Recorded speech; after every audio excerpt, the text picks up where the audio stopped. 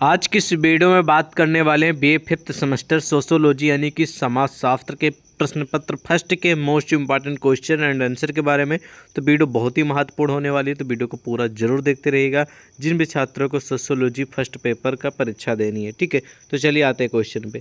सबसे पहला महत्वपूर्ण प्रश्न है आप सभी के लिए कि भैया आत्म हत्या की परिभाषा दीजिए। ये प्रश्न आपके लघु उत्तरी दीर्घ उत्तरी में ज़्यादातर आता है और आएगा भी इस बात के हम आपको हंड्रेड परसेंट गारंटी और भरोसा दिलाते हैं, क्योंकि कुछ क्वेश्चन कॉमन होते हैं, कुछ जर्नली होते हैं जो हर बार रिपीट ही होते हैं। तो ये क्वेश्चन उन्हीं में से एक है जो कि हमेशा आता है, इस बार भी आएगा। चलिए जानते हैं इसके बारे में, इस क्वेश्चन के बारे में। इसका उत्तर आप इस प्रकार लिख सकते हैं कि दुर्खीम के आत्महत्या ग्रंथ का प्रकाशन, यानी कि एक प्रमुख समाजशास्त्री हैं, विद्वान है, जिनका नाम है दुर्खीम। ठीक है? इन्होंने एक ग्रंथ लिखा जिसका नाम है आत्म आत्महत्या। ठीक है? इनकी जो ग्रंथ है, जिसका नाम आत्म हत्या है, इसका जो प्रकाशन है, यानी कि ये जो रिलीज़ हुआ था जब इन्होंने पुस्तक, ठीक, ग्रंथ लिखा था, ठीक है, उसके बाद भाई मार्केट में इन्होंने पब्लिश किया कि भैया हमने ग्रंथ बना दिया है, ये लोगों तक पहुँचाया जाए, ठीक है तो वो प्रकाशन उसका हुआ है अट्ठारह में। प्रकाशन का मतलब फिर से बता दें, जैसे कि मान लीजिए न्यूज़पेपर आप लोगों को सुबह देखने को मिलता है ना तो वो रात भर जब इधर उधर की न्यूज़ मिला के पूरा कंप्लीट किया जाता है, उसके बाद मॉर्निंग में उसे लोगों तक पहुँचाया जाता है। तो उसी प्रकार सेम टू सेम वैसे ही है, ठीक है? तो इसका अट्ठारह में प्रकाशन हुआ, ठीक है? इस ग्रंथ में दुर्खीम ने समाजशास्त्रीय दृष्टिकोण का तथ्यात्मक प्रमाण प्रस्तुत करने का प्रयत्न किया है। किस चीज़ का तथ्यात्मक तथ्यात्मक का मतलब हो गया फैक्ट वाली चीज़ें। उन चीज़ का प्रमाण यानी कि प्रूफ देने का प्रस्तुत करने का प्रयास किया है, फिर प्रयत्न किया है, ठीक है? आत्महत्या को परिभाषित करते हुए दुर्खीम ने कहा, यानी कि आत्महत्या की जो परिभाषा है, वो दुर्खीम ने इस प्रकार दी है कि आत्महत्या शब्द मृत्यु की उन समस्त घटनाओं के लिए प्रयोग किया जाता है, जो स्वयं मरने वाले के सकारात्मक या फिर नकारात्मक क्रिया का प्रत्यक्ष या अप्रत्यक्ष परिणाम होती है। उसके भावी परिणाम मृत्यु को वह जानता है। यानी कि आत्महत्या का मतलब यही हुआ कि स्वयं से अपने मतलब स्वयं से अपने आप का गला घोट लेना या फिर अपने आप को मार लेना, एक तरीके से मान लीजिए फांसी। आप लोग, बहुत लोग फांसी या फिर किसी डिप्रेशन में आके लोग क्या करते हैं कि किसी नदी में कूद जाते हैं, किसी समुद्र में कूद जाते हैं, ठीक है, या फिर किसी घर से नीचे कूद जाते हैं तो ये क्या हो गया? एक प्रकार के आत्महत्या के एग्ज़ाम्पल हो गए। तो आत्महत्या का सिंपल सा मतलब यही हुआ कि जो स्वयं से हत्या कर ली जाए, स्वयं से मतलब कि जो इंसान स्वयं से अपने मरने वाले कंडीशन मतलब कि स्थित का चारों तरफ़ से घेराव कर ले। घेराव का मतलब ये हुआ कि वो ऐसा माहौल बना ले कि स्वयं से उसकी मृत्यु हो जाएगी, ठीक है? जैसे एग्ज़ाम्पल के लिए आपको मैंने बता दिया कि किसी मान लीजिए कि दो चार मंजिल का घर है, वहाँ से ऊपर से गिर जाना, फांसी लगा लेना, किसी नदी में कूद जाना, किसी नहर में कूद जाना, ठीक है, इत्यादि। चलिए, उसके बाद यहाँ पर है कि ये प्रश्न महत्वपूर्ण मैं बता रहा हूँ। ध्यान से इसको देख लीजिएगा और सुन लीजिएगा क्वेश्चन कोई ये वाला नहीं क्वेश्चन कि नहीं आएगा ये। ये नहीं कि हाँ फिफ्टी फिफ्टी वाला ये हंड्रेड परसेंट वाला क्वेश्चन है। लिखा है कि दुर्खीम की उक्त परिभाषा से आत्महत्या की निम्न विशेषताएँ स्पष्ट हैं। कुछ विशेषताएँ हैं आत्महत्या की। ऊपर वाली परिभाषा को देखते हुए तो पहला है कि आत्महत्या स्वयं मरने वाले की क्रिया का परिणाम होती है। तो सिंपल सी बात है भैया कि स्वयं आप लोग अपनी आत्महत्या करेंगे तो स्वयं मरने वाले क्रिया का भाई परिणाम तो मिलेगा ही। आपको मृत्यु तो मिलेगी ही मिलेगी, ठीक है? अगला विशेषता है कि व्यक्ति इच्छापूर्वक सोच विचार कर आत्मघात करता है और वह अपनी क्रिया के परिणाम को जानता भी। मानी कि उसको पता है कि हम कूदेंगे तो मर जाएँगे या फिर हम फांसी लगाएँगे तो मर जाएँगे, ठीक है? तो ये कह रहा है ये वाला इनका विशेषता। अगला है कि आत्महत्या करने वाला व्यक्ति अपनी क्रिया के परिणामों को पहले से ही जानता है मतलब कि जो आत्महत्या करना चाह रहा है, वो व्यक्ति अपनी क्रिया या अपने जो कार्य होते हैं, जो आप कर रहा है, उसके परिणाम को पहले से जानता रहता है। तो सिंपल सी बात है कि आप सभी को मालूम भाई परिणाम तो जानता ही रहता है कि भाई हमारे हम इस घड़ी पे आ गए अब हम ये करने जा रहे हैं तो हमारा परिणाम तो यही होगा कि हम मरेंगे ही मरेंगे हंड्रेड परसेंट ठीक है। बच जाएँ, वो बाकी भगवान की इच्छा है, अगली बार फिर से ट्राई करेंगे तो फिर से मरेंगे। तो यही पैटर्न है, चलता रहा है। ठीक है? और बताया जा रहा पहले ही जानता है, वह जानता है कि वह जो कुछ कर रहा है, उसका निश्चित परिणाम मृत्यु है। मतलब कि वो जानता है कि ऊपर से हम कूदेंगे तो हमारी मृत्यु निश्चित है। मतलब उसका परिणाम वो पहले भी जानता है, ठीक है? तब भी वो करता है ये, ठीक है? अगला है कि आत्महत्या पूर्व निश्चय पूर्वक जानबूझकर की जाने वाली आत्मघाती क्रिया का परिणाम है। इस संदर्भ में दुर्खीम ने आत्महत्या को एक सामाजिक तथ्य के रूप में प्रकट किया। मतलब समाज में ये ज़्यादा होता है, ठीक है? समाज से पीड़ित होकर मतलब बहुत सारे इसके कारण हो सकते हैं, ठीक है? तो सामाजिक फैक्ट के रूप में से प्रकट किया है। क्लियर? अब यहाँ पर क्वेश्चन कह रहा है कि भैया, देखिए, हो ये हो सकता है ये पर क्वेश्चन आ जाए कि आत्महत्या की परिभाषा बताइए या फिर आत्महत्या किससे कहते हैं, ठीक है? ऐसा प्रश्न देखने को मिल सकता है और उसकी विशेषताएँ बताइए। आपको ऐसा भी प्रश्न देखने को मिल सकता है। दो नंबर क्वेश्चन है ये। कि आत्महत्या के प्रकार बताइए मतलब कि किन किन तरीक़ों से आत्महत्या की जा सकती है? यानी कि स्वयं की मृत्यु का जो एक घेराव है या फिर एक जो सिचुएशन है वो क्रिएट करते हैं लोग तो वो उसके प्रकार बताना है, ठीक है? तो पहला जो प्रकार है, वो है अहमवादी आत्महत्या। तो अहमवादी आत्म आत्महत्या में ये होता है कि समाज में अतिशय वैयकता की स्थित आत्महत्या की दर में वृद्धि करती है या अहमवादी आत्महत्या है। दूसरी है, पार्थववादी आत्महत्या आत्महत्या। तो इसमें यह है कि अत्यधिक सामाजिकरण की स्थिति में की जाने वाली आत्महत्या पार्थववादी आत्महत्या कहलाती है। तीसरी है आदर्शहीन आत्महत्या। इसमें समाज में नियमहीनता एवं आकस्मिक परिवर्तन में निराफा की स्थिति में की गई आत्महत्या, आदर्शहीन आत्महत्या होती है। ठीक है, मान लीजिए आकस्मिक परिवर्तन, मान लीजिए आप सोच रहे थे कि हमारा जो है, दो लाख का प्रॉफिट होने वाला है और अचानक से मान लीजिए वो आपका प्रॉफिट ना हो, या फिर आप कहीं जा रहे हैं और आप कहीं मान लीजिए आपका कोई बिज़नेस करते हैं, आपकी कोई गाड़ी है जो माल लेकर आ रही है, ठीक है तो अचानक से उसका एक्सीडेंट हो जाए और पूरी तरह से वो दुर्घटनाग्रस्त हो जाए पूरी तरह से, ठीक है तो क्या करेंगे? उस केस में बहुत लोग आकस्मिक परिवर्तन, यानी कि अचानक से परिवर्तन अचानक से वो अपने लाइफ को चेंज मतलब कि बदलाव कर लेते हैं, परिवर्तन कर लेते हैं और उस निराशा के कारण वो लोग अपनी आत्महत्या कर लेते तो ये भी महत्वपूर्ण कारण, ठीक है? अगला है कि घातक आत्महत्या। घातक आत्महत्या अत्यधिक नियंत्रण, आदर्शवादिता और कठोर नियम पालन है, ठीक है? पालन इस आत्महत्या के लिए उत्तरदायी होती है। ठीक है तो इस प्रकार लिखेंगे। बाकी आप अपने अनुसार भी प्रकार के बारे में लिख सकते हैं। कोई टेंशन लेने वाली बात नहीं बे आप फ़िक्र रहिए और फ्री हैं, आप लिख भी सकते हैं, ठीक है। तो ये जो दोनों क्वेश्चन बताएँ, ये हंड्रेड परसेंट इनमें से क्वेश्चन फंसेगा फंसेगा, करीब आठ से दस नंबर पक्के होने वाले हैं आपके, ठीक है। इसलिए मैं इस पर थोड़ा टाइम दी आप लोगों को। तो अच्छे से पढ़ लेंगे, अच्छे से समझ लेंगे तो आपको काफ़ी हेल्प मिल जाएगी। अगला प्रश्न है कि भाई सामाजिक चिंतन पर टिप्पणी लिखिए।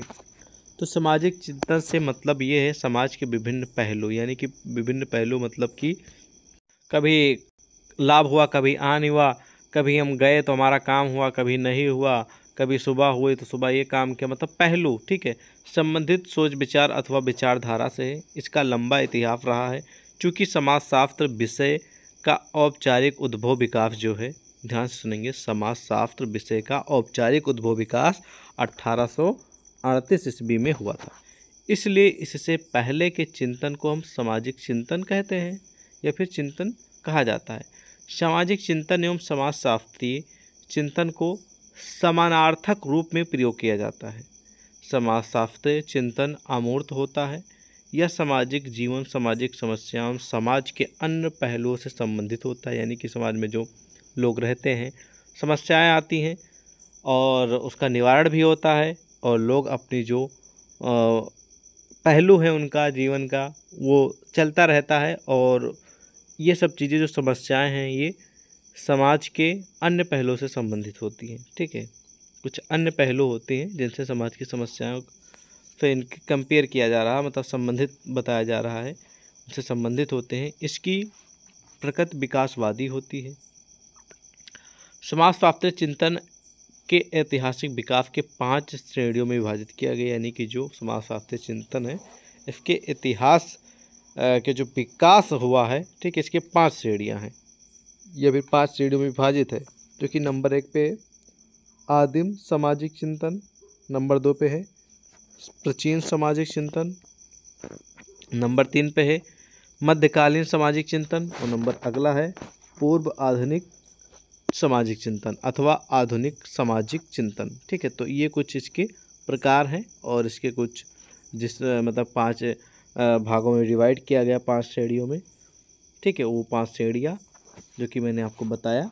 और उसके बाद है कि आधुनिक सामाजिक चिंतन को विकसित करने में फ्रांसीसी क्रांति तथा औद्योगिक क्रांति के परिणाम स्वरूप यूरोपीय समाज में हुए अमूल चूल परिवर्तन पर जो परिवर्तन हुए, जो चेंजेस हुए हैं उनकी प्रमुख भूमिका रही है। यद्यप भारत में सामाजिक चिंतन की एक लंबी परंपरा रही है तथा समाजशास्त्रीय चिंतन का ठीक है, विधिवत प्रारंभ 1919 से माना जाता है। इस बात को ध्यान रखेंगे।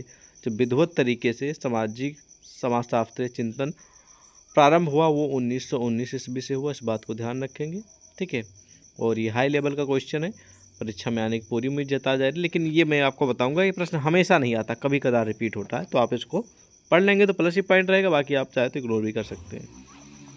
अगला है कि भाई, संघर्ष सिद्धांत का आरंभ कब हुआ ये भी क्वेश्चन ना, कभी आता है, कभी नहीं आता है, उस टाइप का है, ठीक है? प्रश्न से ही उत्तर समझिए, संघर्ष सिद्धांत। ठीक है, संघर्ष का मतलब आप लोग समझते हैं हार्ड वर्क ठीक है? कठिन परिश्रम। सिद्धांत का मतलब नियम कानून, ठीक है? तो यानी कि आप कोई चीज़ संघर्ष कर रहे हैं, उसके क्या नियम हो सकते हैं? वो आरंभ कब हुआ उसके बारे में बताइए, ठीक है? तो चलिए। उन्नीसवीं शताब्दी में यूरोप में कई समस्याएँ थी। वहाँ वो औद्योगिक क्रांति स्थापित हो चुकी थी, ठीक है? औद्योगिक क्रांति बहुत ही बड़ी क्रांति है और इसके बारे में मैंने वीडियो बना रखी है, आपने नहीं देखी, चैनल पर जाके देख सकते हैं और आप गूगल पे भी सर्च करके पढ़ सकते हैं। औद्योगिक क्रांति के बारे में बहुत ही महत्वपूर्ण प्रश्न, परीक्षा मानने के इससे भी बहुत सारे चांसेस हैं, ठीक है? औद्योगिक क्रांति स्थापित हो चुकी थी और इसके साथ विज्ञान और तकनीकी के पाँव भी जम गए थे। यानी कि जो साइंस है और जो टेक्नोलॉजी है, उसके पाँव जो है ना, एक तरीके से जो काम करने के थे, तकनीकी जो सी टेक्नोलॉजी आ रही थी, जो साइंस शोध किए जा रहे थे, वो एक तरीके से जम गए थे, रुक गए थे, ठीक है? एक तरफ़ तो यूरोपीय समाज की रूढ़ीवादिता थी और दूसरी और समाज की यह कामना थी कि विज्ञान व तकनीकी के सभी लाभ उसे प्राप्त हो जाएँ, ठीक है? मतलब कि वो कह रहा था जो तकनीकी साइंस है, ठीक है? और मतलब कि विज्ञान है, साइंस है, ठीक है? जो शोध होते हैं, जो नई नई अच्छी अच्छी चीज़ों के बारे में सोच शोध आते हैं कि ये चीज़ ऐसे किया जा सकता है, इस शोध से ये प्राप्त हुआ है, और तकनीकी मतलब कि टेक्नोलॉजी। मान लीजिए कि पहले आप सभी को मालूम है कि पहले क्या था? पहले छोटे छोटे कीपैड वाले मोबाइल थे, लेकिन वो तकनीकी की वजह टेक्नोलॉजी की वजह से आज देखिए बड़े बड़े मोबाइल हो गए हैं, जो कि हर चीज़ मोबाइल पे किया जा सकता है। तो सभी को सभी लाभ उसे प्राप्त हो जाए। इन आवश्यकताओं को किसी तरह टाला नहीं जा सकता था। ये दोनों आवश्यकताएँ एक दूसरे के विपरीत थी। यदि वास्तव में समाज में विज्ञान को अपना लिया जाए तो वर्षों पुरानी परंपरा बिखर जाती। इस वहापोह में यूरोप ने अपने समाज की दिशा को विज्ञान ठीक है, विज्ञान व तकनीकी की ओर मोड़ा। कि भैया कहा कि विज्ञान और तकनीकी बहुत ही ज़रूरी चीज़ है, और इन्हीं की ओर पूरा अपना रुख जो है दिशा हो, मोड़ दी, ठीक है? और इस शताब्दी में यह समझ जाने लगा कि यदि विज्ञान को अपनाया जाता है तो समाज विज्ञान के अध्ययन की ठीक है, विधियाँ वैज्ञानिक होंगी और उन्हें हर तरफ़ से भरोसेमंद होना चाहिए।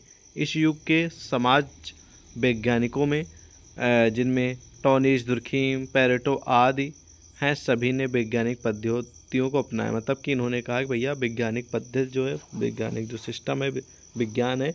ये बहुत ही समाज के लिए बहुत ही अध्ययन करने वाली विधि है, जिसको अपनाना ज़रूरी है। तो वही बताया जा रहा है कि कुछ जो विद्वान थे, कुछ जो समाजशास्त्री थे, ये भी वैज्ञानिक पद्धति को अपनाएँ। ठीक है तो इस प्रकार लिखेंगे संघर्ष सिद्धांत के बारे में, प्रारंभ के बारे में। ठीक है तो सिंपल सा परिचय था, कोई हार्ड नहीं था। और अगला क्वेश्चन जो आप सभी के आने, समझ आने वाला हार्ड लेवल का, परीक्षा में आएगा ही आएगा। याद रखेंगे कामटे के कामटे प्रमुख समाजशास्त्री हैं, याद रखेंगे। तो कामटे फ्रीडे क्वेश्चन आएँगे ही आएँगे, आप सभी परीक्षा में तो कामटे की प्रत्यक्षवादी परिभाषा बताइए। ये हमेशा प्रश्न आता, मैंने जब जब देखा है। तो सिंपल सा उत्तर लिखेंगे कि फियर चाइल्ड के अनुसार, प्रत्यक्षवाद एक वैज्ञानिक सिद्धांत है, जिसका उद्देश्य सभी मानव समाज के भौतिक, बौद्धिक तथा नैतिक उन्नति की निरंतर वृद्धि में बंधा हुआ है। ठीक है? और वहीं पर बोगार्ड्स बुद्धिमान है, समाजशास्त्री हैं। इन्होंने कहा है कि प्रत्यक्षवाद संसार को देखने का एक बौद्धिक तरीका है। उनका विचार है कि मस्तिष्क की घटनाओं को अवलोकन और वर्गीकरण पर केंद्रित करना चाहिए, अपेक्षाकृत व्यर्थ में घटनाओं के कारण तलाश करना और उन्हें जिम्मेदार ठहराना। ये कहा है बो, ठीक है बोगार्ड्स ने।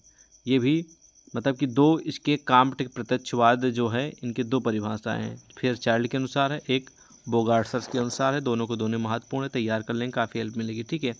और यहाँ पर और भी बताया गया कि वाक्य के लिए भी, वाक्य के लिए भी जानी जाती है फ्रांस की भूखी जनता, जब खाना मांगने के लिए महल के सामने इकट्ठी हुई तो महारानी ने कहा था कि यदि हमारे पास ब्रेड नहीं है तो केक खा लो, ठीक है?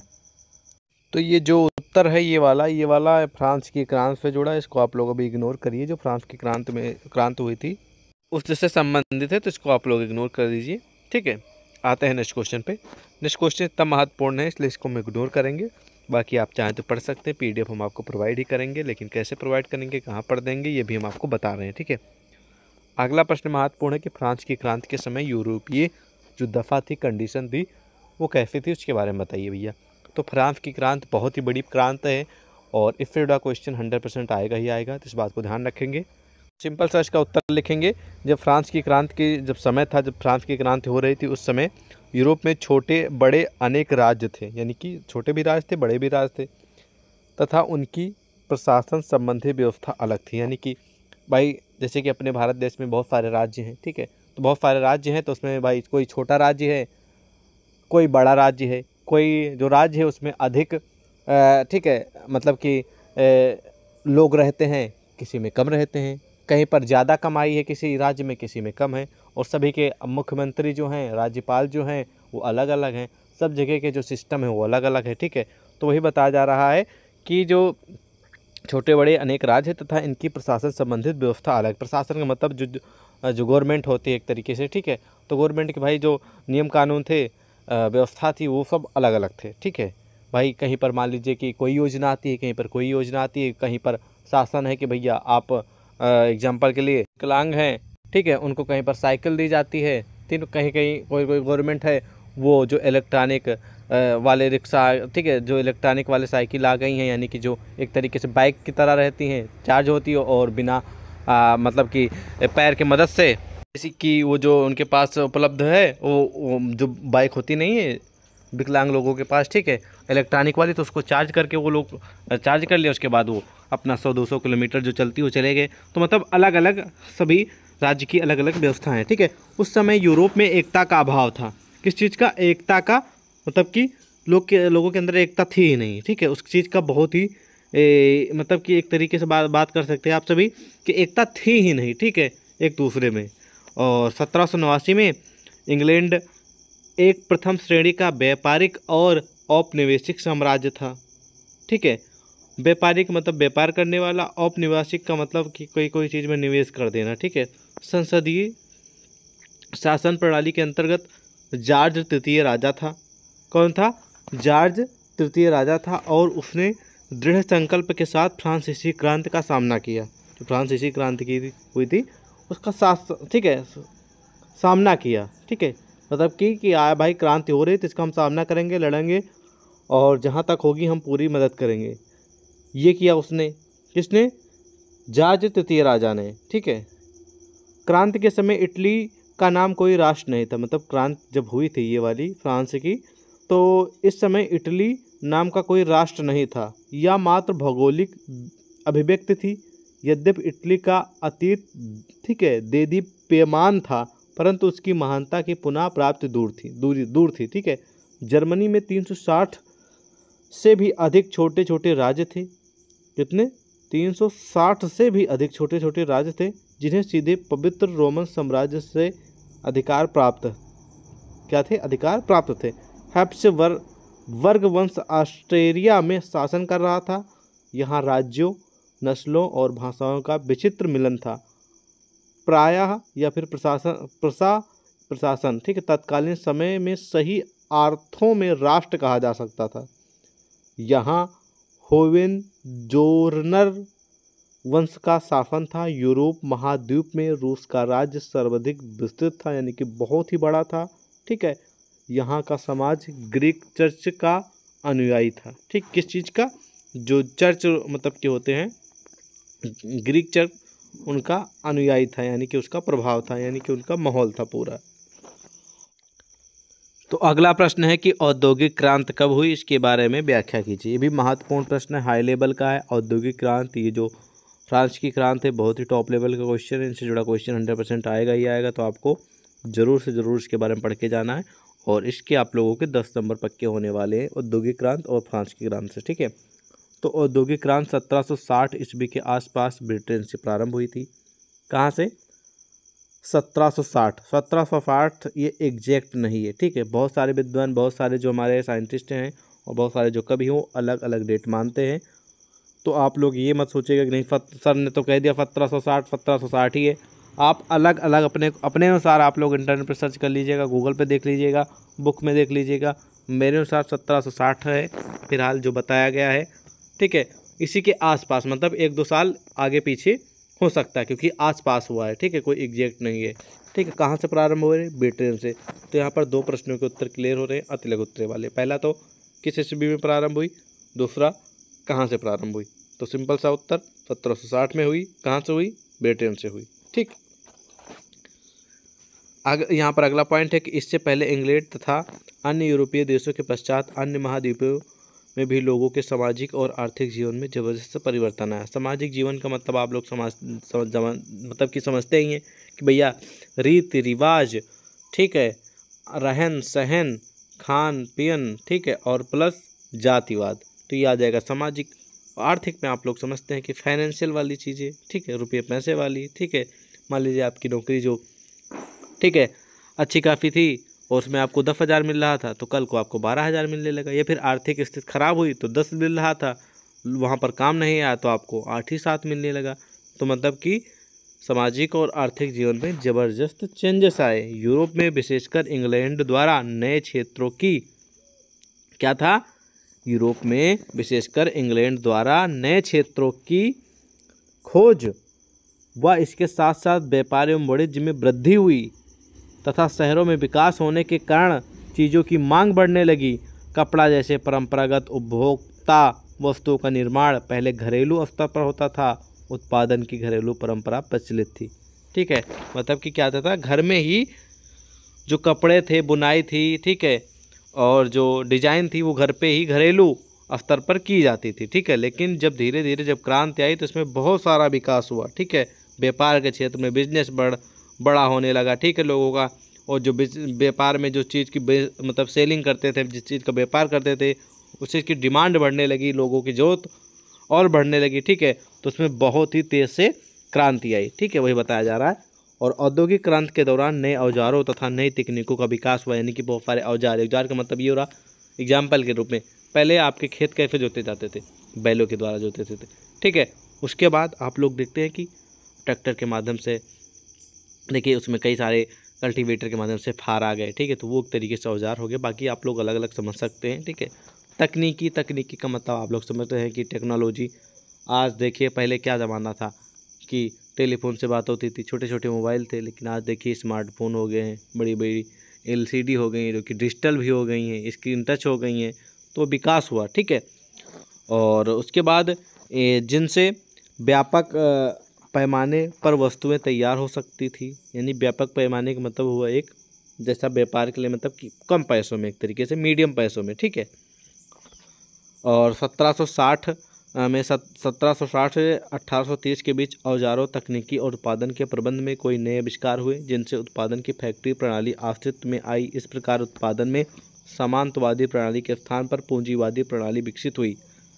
उद्योगपति यानी कि जो बड़े बड़े बिजनेसमैन थे, ठीक है? का वर्ग उभर कर सामने आया, यानी कि वो देखने लगे कि हाँ भैया, इनके पास क्या क्या पावर कितना पैसा और क्या क्या चीज़ का बिज़नेस कर रहे हैं। उभर कर सामने आया, जिसने औद्योगिक प्रणाली को नियंत्रित किया। इस क्रांति के कारण समाज में हाथ से बने या फिर हाथ से बनी वस्तुओं का पुराना युग समाप्त हो हो गया और यंत्र निर्मित वस्तुएँ नए युग की पहचान बनी। यानी कि जो घर में पहले की जो कढ़ाई, बुनाई, सिलाई, ठीक है, और जो बड़ी बड़ी मतलब कि जो व्यापार मतलब कि जो डेली यूज़ की थी इंसानों की, ठीक है? वो पहले क्या था? घरेलू स्तर पर बनती थी, यानी कि हाथों से बनती थी। लेकिन ये जो युग था, वो पूरी तरह से जो क्रांति आई, ठीक है? औद्योगिक क्रांति इसने पूरा का पूरा इस युग को समाप्त कर दिया। उसने एक नए युग का निर्माण कराया जो कि ऑटोमे ऑटोमेटिक वाला, ठीक है? मशीन वाला, मशीनरी वाला, ठीक है? यानी कि जो काम इंसान करते थे वो मशीन करने लगी। जो काम इंसान अपने हाथों पे करते थे वो अब कम समय में, लिमिटेड समय में, ठीक है, बहुत ज़्यादा अधिक उत्पादन या फिर अधिक वस्तुओं का निर्माण मशीनों के द्वारा किया जाने लगा। तो वही बताया जा रहा और यंत्र निर्मित वस्तुएँ नए युग की पहचान बनी, यानी कि नया युग आ गया और जो यंत्र थे, ठीक है उसमें बढ़ोतरी देखने को मिली, कम समय में तैयार हो जाते थे, ये सारी चीज़ें देखने को मिली। तो ये रहा पूरा का पूरा आज का क्लास आई होप आपको समझ में आया होगा। इसमें से जो क्वेश्चन है, ये आपके परीक्षा में आएँगे ही आएँगे। तो आपके करीब करीब पंद्रह से बीस, पच्चीस क्वेश्चन पक्के होने वाले हैं।